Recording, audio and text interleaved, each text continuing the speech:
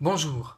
Dans l'évangile de Luc au chapitre 13, dans les versets 1 à 9, on nous parle de personnes qui viennent interroger Jésus à propos de Galiléens qui sont morts tués par Pilate dans le temple, à propos de 13 personnes écrasées par la tour de Siloé.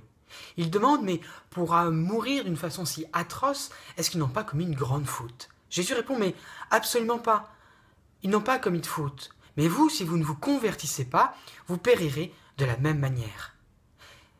Convertir, c'est le nœud de ce texte-là, c'est le centre. Jésus invite à changer de regard. Il invite ses interlocuteurs non plus à être obsédés par la faute. Qu'est-ce qu'ils ont fait? Pas être obsédés comme nous le sommes souvent dans nos vies, par le reproche, reprocher aux autres, en vouloir aux autres, ce qui s'est passé dans le passé.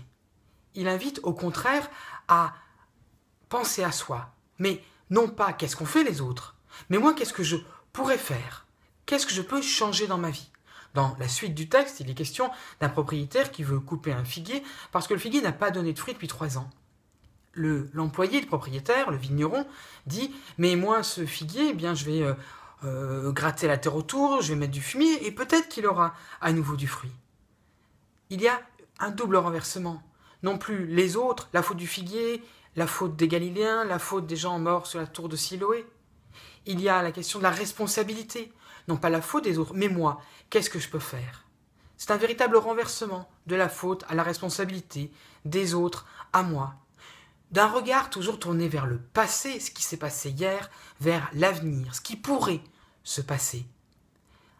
Quelque chose qui ne regarde plus le mortifère, le mortel de la faute, le mortel de ce qui n'a pas donné de fruits, mais qui regarde la vie, c'est une vraie conversion parce que c'est un changement de regard, mais c'est un changement profond, un changement d'état d'esprit qui nous fait changer notre façon d'être, notre façon de réagir, qui nous fait profondément aller vers la vie.